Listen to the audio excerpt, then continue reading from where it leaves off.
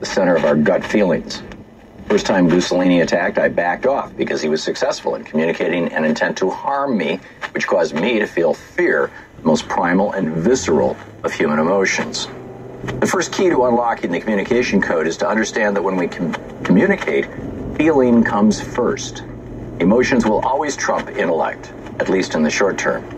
This emotive form of communication, however, ultimately didn't get Mussolini the response he wanted. On its own, the attack wasn't very persuasive. Instead of shooing me away, Mussolini made me angry.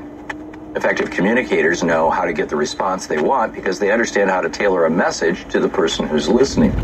They know the second key to unlocking the communication code is that the meaning of a communication is the response you get.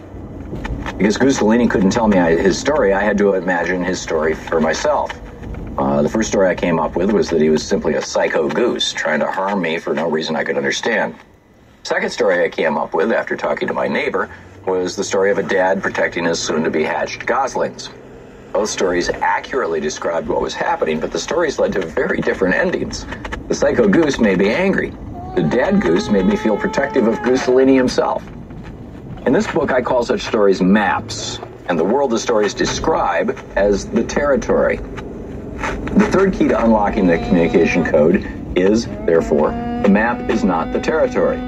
Each story captures a different piece of reality. No one story captures it all.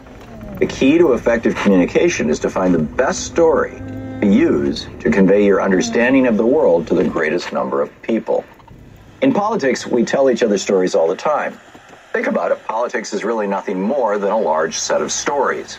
United States of America began as a story that the founders and framers told about a society that could live in harmony around the principles of life, liberty, and the pursuit of happiness.